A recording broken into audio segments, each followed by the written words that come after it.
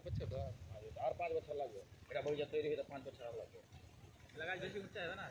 তাহলে এই কেলা হবে আরে দিদি